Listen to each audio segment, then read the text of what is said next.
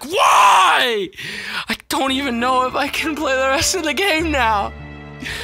Because it's too heart wrenching to sit here and now know that that dead body was her because of you!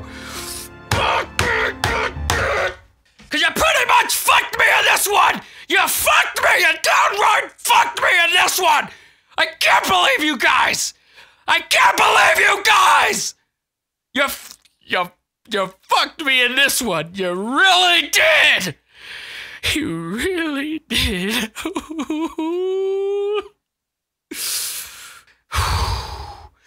Why? Oh. You will always be in my.